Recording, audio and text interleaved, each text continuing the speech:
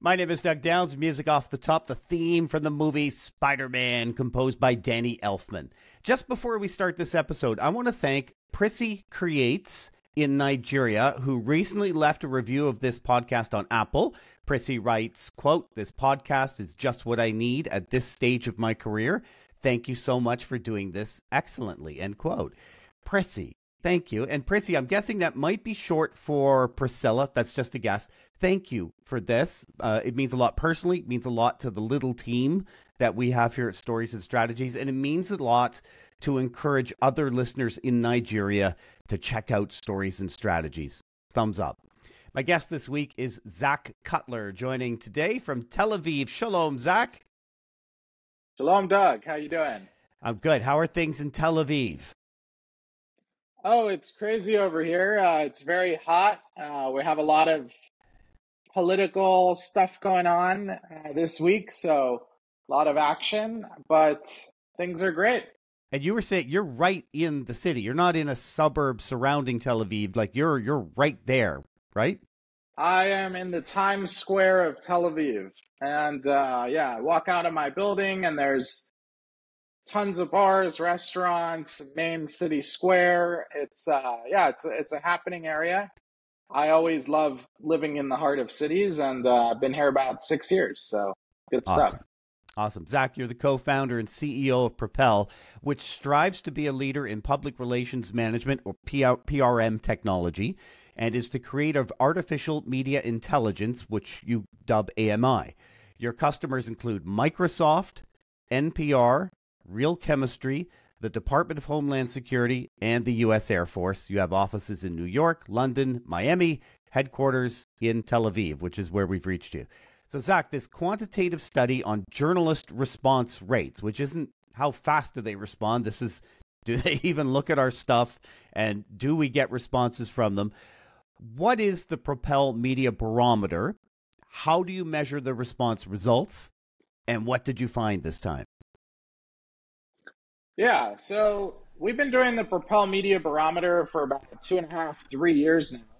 And essentially, every quarter we analyze the journalist engagement with pitches coming from PR professionals. So we understand different trends going on, what makes a successful pitch, what are the open rates looking like, what are the response rates looking like, and essentially, how can PR professionals and comms professionals craft their pitch in a way where they'll be most successful with the pitch. So we have some interesting numbers, which I'd love to jump into. Uh, in Q2, we saw the response rate was 2.99% on average. This was from analyzing about half a million real pitches that were sent via the Propel Outlook or Gmail plugins. And this is like the third quarter in a row that we've seen the response rate under 3%, which is uh, definitely concerning in, in a way. However, there is light at the end of the tunnel, which I'll get into in a few minutes. A couple of the other findings that we saw were that uh, pitches with six to nine word subject line got a 3% response rate, whereas pitches with a one to five word subject line actually got over a 4% response rate. And that was the highest response rate of any subject line length. As the subject line gets longer, the response rate actually goes down. So, common sense there, want to keep your subject lines short. Also, uh, we know that the best lead length or length of the first paragraph is between 51 to 80 words, and pitches with the lead length between 51 to 80 uh, words got a 3.46% response rate, which is interesting as well. Um, in terms of body length, 100 to, excuse me, 50 to 150 words got the highest response rate at 6.5%. And I think all of this just goes back to the central theme of keep it nice and short. You know, mm-hmm. journalists are really busy. They've got a lot going on, a lot of deadlines, oftentimes hundreds and hundreds of pitches coming their way in a single day. And nobody's got time to read an essay. So the shorter the pitch, the sort the shorter the subject, the better the engagement. Perfect. And you still found that journalists are opening nearly half the pitches they receive, just under 50%, which I take as as impressive actually when you consider that journalists are working with fewer and fewer resources these days. They open the most pitches on a Tuesday, which I found fascinating and yet it fits perfectly into everything I know. Tuesdays are a big podcast listing day, Wednesdays are slightly higher, Thursdays are eh, kind of equal to Tuesday, and then the others are shoulder days. That's just podcasting. Uh, so this isn't a case of lazy reporters. They're working hard. They're doing what they can. They're rowing, you know, the societal boat in terms of their role in society here. Yeah, so it is interesting about the Tuesday versus the other days in terms of response rate. Interestingly, what we also have seen is that Tuesday has the most pitches sent. So actually, yes. it's not a it's not a surprise that it gets the most responses because we also analyze that most responses come in the same day. So as as the day that the pitch was sent. So actually, it's been really interesting over the last couple of years because we've seen sometimes the days that you don't expect to be a successful day are actually the most successful day. Like we've actually seen in our Propel Media Barometer analysis over the last couple of years that Friday, which was always considered the worst day to It's a dead day. And, That's right. Yeah. Actually, relatively had the highest response rate. Oh, interesting. And so, yeah, so some of this is counterintuitive. You know, if you have an underrepresentation of pitches on Friday, then what we've seen is you have an overrepresentation of response rate. Whereas on other days, if you have really a lot of pitches going out, like on a Tuesday, the response rate's not going to be particularly higher than the amount of pitches that went out. And so a lot of this just depends on when are the pitches going out. And that really does determine, in large part, when the responses are coming back in. And a 2.99% response rate, as you indicated, it's it's been in decline at least quantitatively the last couple of quarters using your tool. Overall, I would suspect that line graph is is is in a steady decline. Response rates getting lower and lower. The overall message here is a repeat message in our proactive efforts for coverage to whatever it is we're trying to pitch or draw attention to. We can't just focus on macro media anymore. Absolutely, make it part of the efforts, but we need micro media, whatever that looks like for the target audiences that you're going for. Yeah, I couldn't agree more. That that is exactly right. And I just want to say that these low response rates uh, should not dissuade PR and comms pros because if we think about the PR landscape, it's changing. It's beginning to include more forms of new media, of micro mm-hmm. media, things like podcasts. And we've been looking actually in the Propel Media Barometer at podcast pitch volume, podcast response rates. And we actually find that podcasts are getting responded to 16.5% of the time, which oh, is remarkably higher. Yeah, it's over five times higher than the overall response rate which is you know very encouraging because we all know that there are layoffs in major media staff rooms, uh, newsrooms, and traditional staff writers are you know being let go.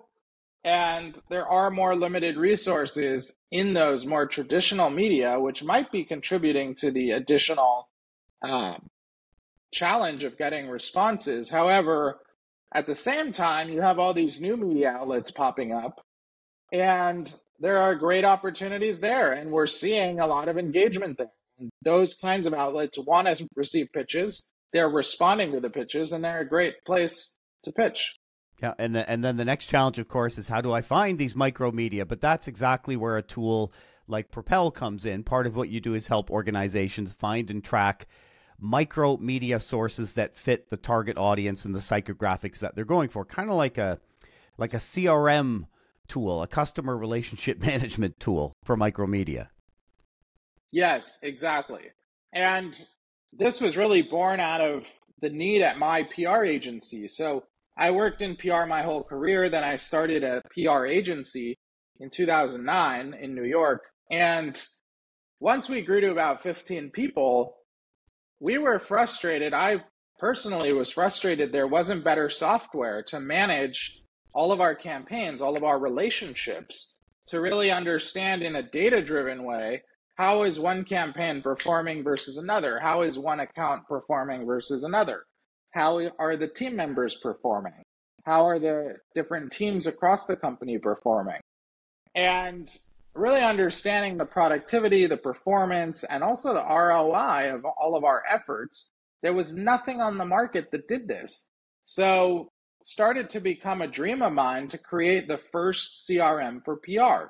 And so I sold my agency uh, about five years ago, went full time into Propel. And since then, we've been building public relations management software. And essentially, it does exactly what you said it allows you to manage all of those journalist relationships in a really data driven way. Understand not only if you have a historical relationship, but who on your team also has the best historical relationship with every journalist also understand things like what day and time and topics are journalists or each individual journalist actually engaging with the most.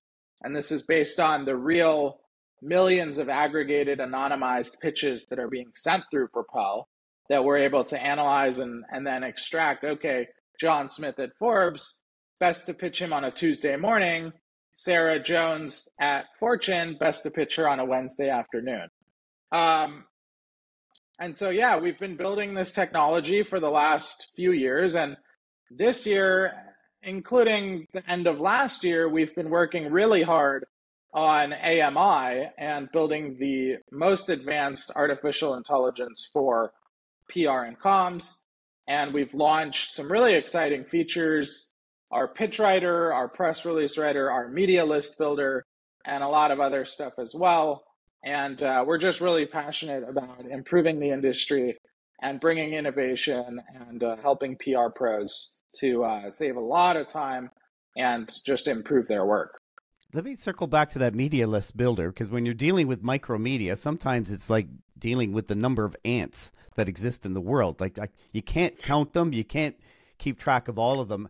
How does your tool go about finding um, those micromedia sources and and I got it that then you help manage it right down to uh, John or Jane prefers a pitch about peanut butter on a Wednesday.